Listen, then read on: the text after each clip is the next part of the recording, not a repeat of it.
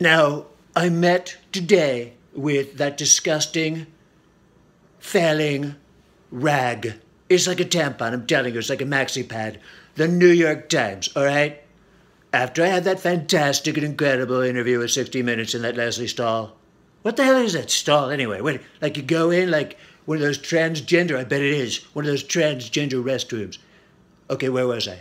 So, I did, I took pity on the New York Times, okay? I gave them an exclusive, and so that maybe they wouldn't continue to lose millions and millions of subscribers because nobody reads that. Nobody reads that crap anymore, all right?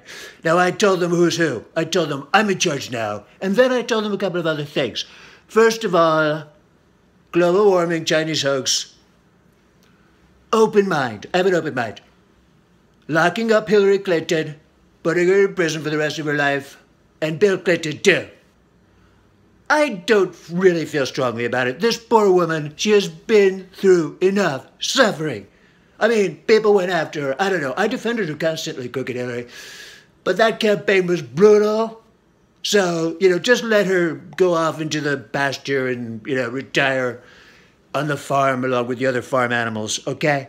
Now, as far as Trump, international, worldwide, global, incorporated corporation conglomerate, Inc., I could run my business perfectly and also at the same time, at the same time, run the country perfectly, literally, perfectly. This is what I'm telling you.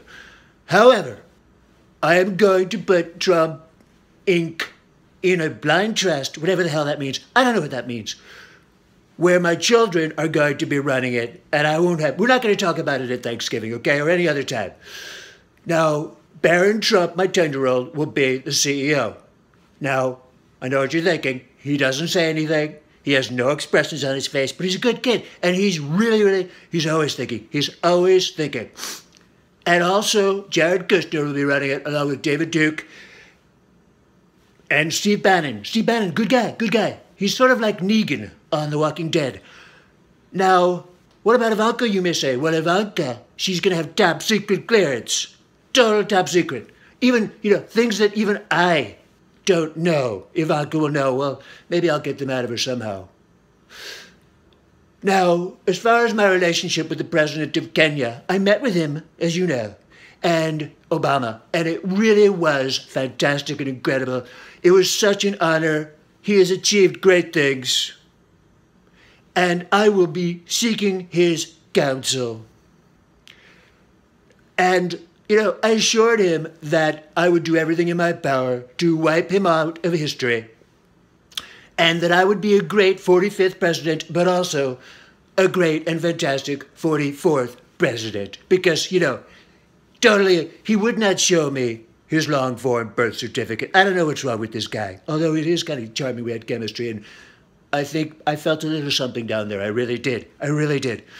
Couple of other quick points. Saturday Night Live. So unfunny, so unfair, so biased, okay? And that Alex Baldwin Hamilton, terrible, the worst. He should quit show business. He makes Trump look like some sort of a drag queen. I don't know what the hell he's doing, okay? Awful. Totally terrible. I love Alec Baldwin, I'm telling you. I, look, it, it's all a good fun. It's all a good fun. But Mike Pence, my vice president, who I call Pennyboy. How the hell did he get tickets to Hamilton? I can't even get tickets to Hamilton, right? I could literally stand in the middle of Broadway and shoot the entire cast of Hamilton, and I could not get a ticket to ha- Hamilton.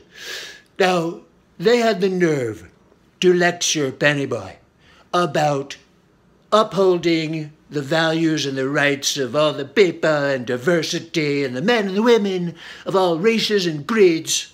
I don't even know what a creed is. What the hell? Nobody uses that word anymore. I don't know what it is. Creed. And orientations. I love the Orientals, all right? The Chinese, they're like my best tenant, okay?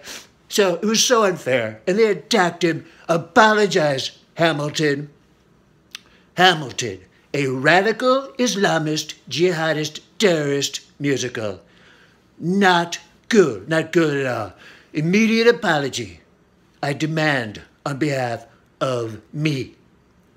So, in closing, everyone, I just want to tell the Khan family that I have not forgiven you or forgotten you. All right? And now that I'm the richest, most powerful, and most famous person on earth, I'm going to be coming after you, Khans. And also that Megyn Kelly. All right? That Megyn Kelly. And also John McCain. And also, of course, Rosie O'Donnell. And all I can say is, Trump bless Trump America.